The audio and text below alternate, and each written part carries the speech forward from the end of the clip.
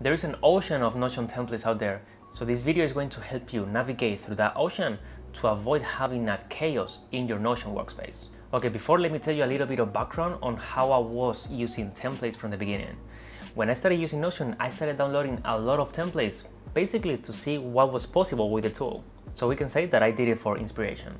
But I have never used a template just as it was. I always had it in one side, check the formulas, check what they were doing, and then I was building my systems by myself.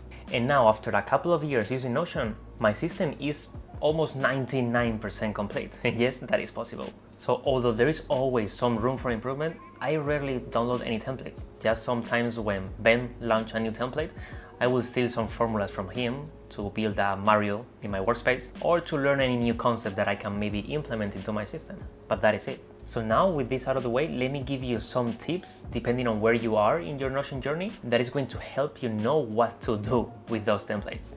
So I'm going to differentiate whether you are getting started with Notion and whether you already have some experience. So now first, if you're just getting started with Notion, the do's will be first, learn how to use Notion before using any templates. Templates can be very tempting, but please, please resist that temptation. Because if not, you are gonna be downloading a lot of templates, your workspace will be full of templates, and it's gonna be a chaos. So please download them mindlessly just for the sake of learning. You can use the templates to see how they are connected, the formulas that they are using, so basically to learn what's possible with the app.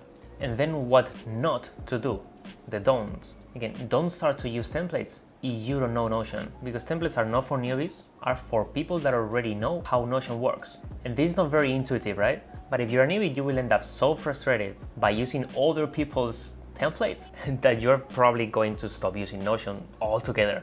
And as I said, don't overcharge your Notion with dozens of templates because your mind will be all over the place. You will not know what to implement. So take a step back, think, okay, what do I need? Download it, study it, and learn from it. So the takeaways, if you are just getting started, you can use templates for inspiration and for learning Notion.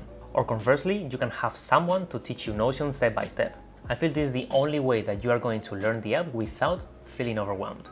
So now what to do if you already have a system in Notion and you already know the ins and outs of the app? Well, as you already know how the app works, now is the moment in which you can just download a template that maybe will complement some of your systems and just plug it into the system. But for this, we will be needing to look for some templates that are a bit like Lego blocks, that are standalone templates that are just completely complementary to whatever system you are and you will just plug it and everything will work seamlessly.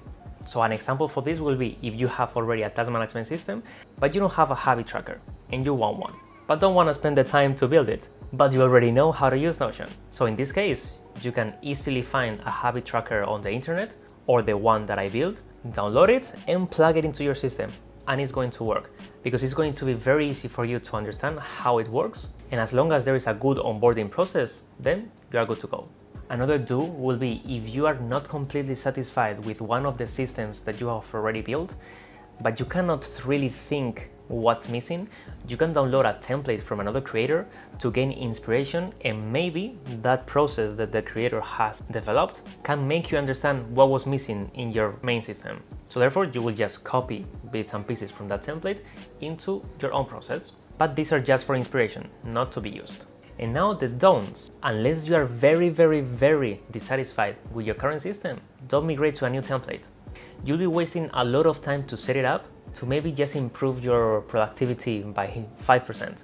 You'll have to migrate tons of data to the new system because you're a seasoned Notion user and probably you will already have much data there. Plus, your brain is already used to working the way it was before. So it's gonna take you even more time to get used to that new system and that new way of working. So again, unless you are very dissatisfied, I wouldn't recommend you to migrate to any other system. And next, stop thinking there is always a better template, that there is always a better system. Because yes, there is, but that is not the important part. Chances are that you just need to look at your own system and find its shortcomings and then fix them. And how do we do this? with self-awareness. Whenever we feel that our system is not doing what we want for us, aka we are missing some step, we are forgetting to update some field, we just have to be self-aware of that and tweak our system a little bit. we don't need to look outside for inspiration. But the main takeaway will be to have more self-awareness and to look into our systems much more than we look to the other people's systems. Because most often than not, the solution is mostly inside. Oh, by the way, do you know which is the most viewed video in this channel? is the one of my habit tracker template. So if, if, you've been looking for a habit tracker that you can just plug and play, I'm gonna leave a link, I didn't leave space, here.